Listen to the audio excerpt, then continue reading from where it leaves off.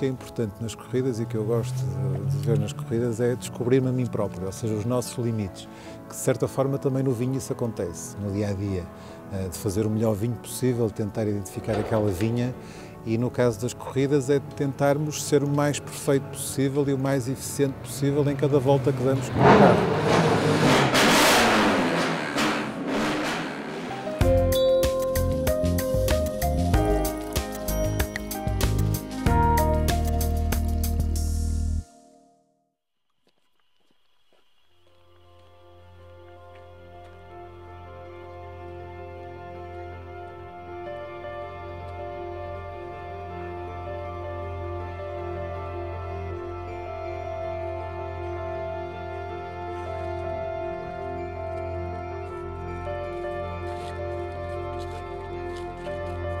Nós, quando começamos o projeto do Wine and Soul, do Pintas, a ideia que eu e a Sandra tínhamos era fazer um vinho para que nos satisfizesse a nós próprios.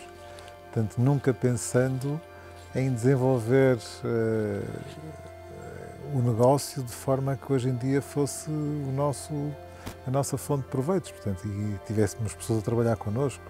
A ideia era mesmo criar simplesmente um vinho que nos satisfizesse profissionalmente e que, que, fosse feito sem pedir autorização a ninguém, porque trabalhávamos para outras empresas e, portanto, não podíamos fazer da forma como queríamos.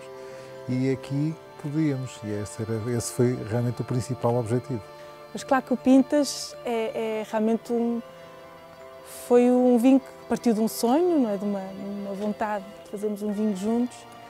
E, e realmente desde aí foi muito especial por tudo o que, que, que, que nos levou e, a que, e ao que conseguimos obter. Portanto, uh, ainda hoje temos imenso. Claro, quando estamos a fazer os lotes e fazer tudo, temos, claro, temos sempre uma, uma nervoseira, mas que é bom, não é? acho que é super importante e estimulante continuar a tê-lo.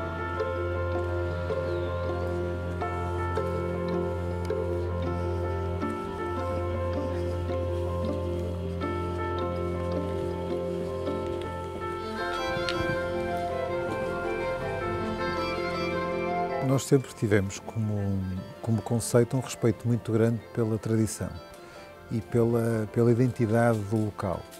E, portanto, eu que cresci aqui nesta zona e a Sandra veio de Lisboa, mas que, que se apaixonou também por isto, sempre gostamos muito desta zona de Valdemindins, que é de facto aquela que nós consideramos a zona perfeita, ideal para produzir o vinho com mais equilíbrio, com mais finesse que, que, que, no Douro é possível encontrar.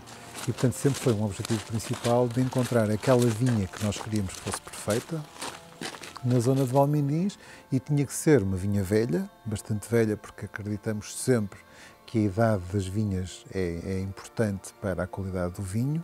Tinha que ser uma vinha que tivesse plantada com as castas uh, da região. Uh, portanto, ou seja, este conjunto de características foi definido por nós à partida.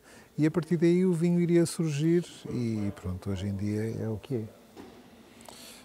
Bem, isto é o Pintas 2001, que foi o início de, desta aventura que é o Wine and Soul hoje em dia e que hum, lembro-me perfeitamente das, das todas as dúvidas que eu e a Sandra tivemos neste ano. Para nós, cada vez que abrimos uma garrafa destas, é, é quase que uma emoção grande, porque é o, é o reviver dessas, desses, dessas aventuras e desses, de tudo o que nos aconteceu.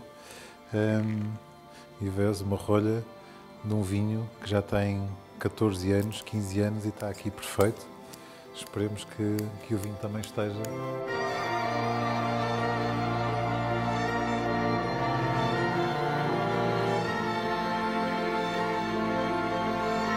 Imagina tu numa situação em que estás, estás a começar a tua vida, em que não tens nada, só tens incertezas e, e sonhos.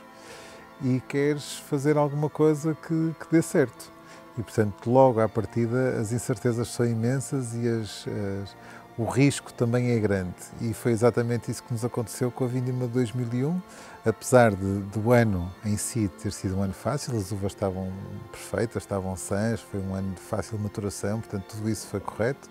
Agora, tudo o resto à volta, tudo o resto que veio a seguir, uh, o ter concretizado a compra da adega e a, e a renovação da adega, em parte, uh, muito em cima da vindima, uh, o que nos levou estar a receber as uvas no lagar e estarem ainda a acabar o telhado, portanto, isso foi um dos episódios.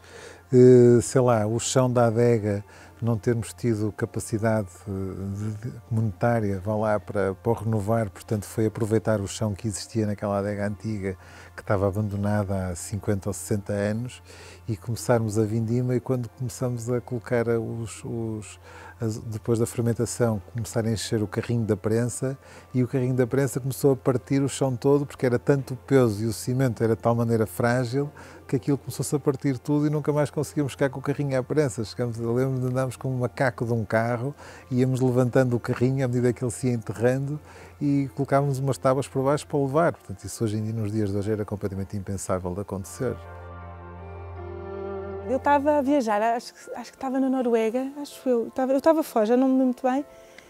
E, e o Jorge ligou-me a dizer: Sandra, nem vais acreditar. E eu, o quê? Tivemos 98 pontos na, na Wine Spectator. E eu, eu disse: o quê? Não, não queria acreditar. E depois foi engraçado que o Jorge, a forma como ele soube, veio primeiro pelo Brasil, acho eu que foi, primeiro, foi, foi o, nosso importador no Brasil, começou-lhe a ligar a dizer o que é que se estava a passar, porque de repente o estoque de pintas na coisa de uma hora tinha desaparecido. E, e, o Pintas no Brasil, e, como é óbvio, e noutros lugares, mas portanto, não, não vim muito barato, portanto, mas de uma, assim, de uma forma espontânea quase desapareceu.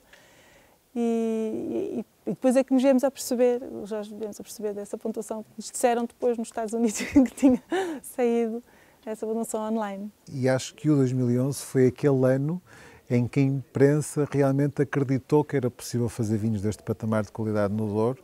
Eu acho que já tinham sido feito antes, mas de facto aquele ano foi o ano em que nos, que nos, que nos mostrou que nos, ao, mundo, ao mundo dos vinhos. Uh, mas eu acho que existem outras colheitas com o mesmo potencial de 2011, agora não com o mesmo reconhecimento que tivemos, e confesso-te que esse reconhecimento, esses 98 pontos que nós tivemos, uh, virou para nós uma, uma atenção muito grande que não tínhamos tido antes, de compradores, de clientes, de toda a gente que, envolve, que está envolvida neste negócio.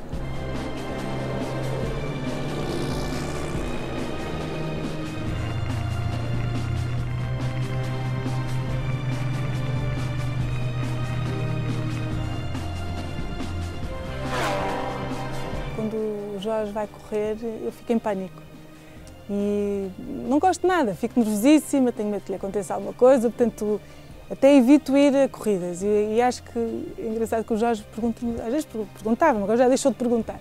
Então, mas porquê que não vais assistir a nenhuma prova, às minhas provas? Eu, e eu lá fui duas ou três vezes, uma foi no Porto, outra foi em Vila Real, e ele, as duas vezes que eu fui assistir, ele teve acidentes. Eu disse, pronto, já, já acabou, já não vou ver mais prova nenhuma porque não aguento, não aguento. Fica numa nervoseira e acho que também dou, mais, dou azar.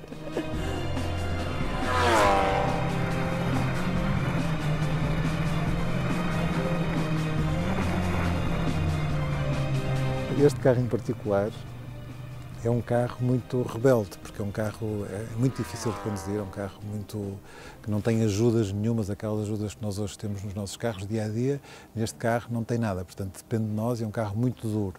E como vês, vamos praticamente sentados no chão a 200 a hora, portanto não é, não é propriamente um ambiente no qual nós nos sentimos mais à vontade possível. E, e, torna isto um carro difícil. E eu acho que talvez o, o Manuela Vinhas Velhas, que é um vinho menos consensual, talvez se, se assemelhe um pouco uh, às sensações deste carro e ao, que este carro, ao carisma que este carro tem.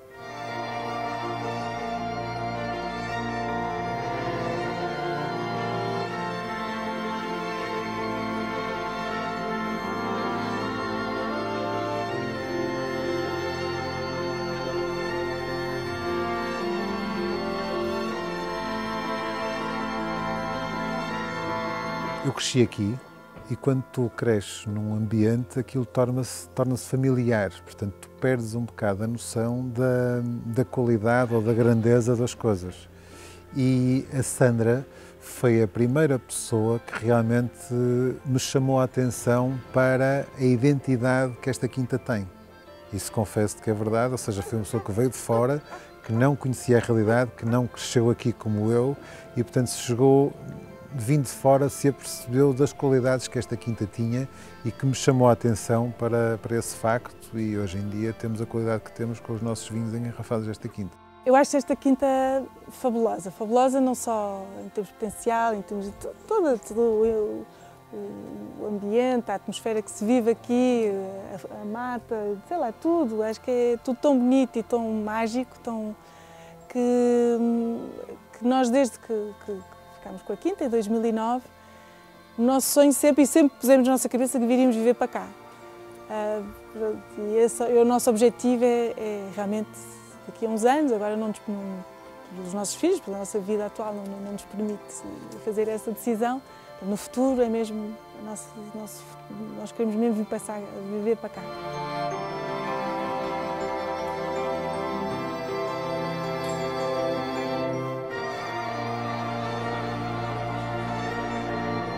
Nossa filosofia sempre foi o mesmo que foi inicialmente com o Pintas, foi respeitar aquele terroir em particular daquela vinha e, portanto, e, e definimos a partir de uma coisa que acho que foi fundamental para o nosso projeto, que foi não utilizar outras uvas para misturar com as uvas da vinha Pintas, porque de facto a procura sempre foi muito maior do que a oferta e, portanto, o natural o mais normal seria aumentar a quantidade de, de, de, garrafas produzidas daquele vinho utilizando outras uvas. E esse sempre foi uma regra para nós que nunca iria acontecer porque queríamos manter a identidade. E, portanto, a solução para crescer com o negócio foi criar outras marcas, outros rótulos. E aproveitando o potencial que existiria em termos de terroir noutros locais. E, de facto, aquilo que acontece hoje em dia com esta Quinta da Manuela é um bocado isso, ou seja, nós conseguimos criar dois rótulos, que é o Manuel e o Quinta da Manuela, que são vinhos completamente diferentes em termos de estilo com aquilo que é o Pintas e o Pintas Character de Valdemendins, mas temos aqui um terroir muito particular que estamos a explorá-lo e estamos a trazê-lo para a garrafa e para a mesa das pessoas. Ou seja, mais uma vez, é a vinha, é o mais importante acima de tudo, de todo o conceito, a vinha é aquilo que nos interessa, é aquilo que nos preocupa mais, mas aquilo que nós queremos é, no fundo, transformar isso em líquido e levar isso para, para a garrafa. Desde o primeiro dia que eu vim parar ao Douro, quase que por acaso, não é? Eu não fazia ideia do que é que eu ia encontrar. E hoje em dia, todos os dias, sou surpreendida por qualquer coisa, porque é uma região tão bonita, tão única, tão especial, que, que realmente é, sinto muito feliz de poder trabalhar nela. Tenho perfeita noção de que faço parte de uma geração de pessoas que realmente criamos uma, uma abrimos uma janela no Douro. Ou ajudamos a abrir uma janela no Douro, que foi esta história dos vinhos do Douro.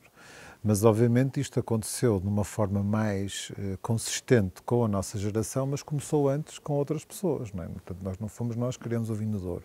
Nós acreditamos que o conseguiríamos fazer e torná-lo num produto uh, que é hoje os vinhos do Douro e, e, e, portanto, isso acontece porquê? Porque a nossa geração, na altura, estávamos nos 20 anos, não é? 20 e tal anos, na altura em que todos os sonhos são possíveis de concretizar, não é?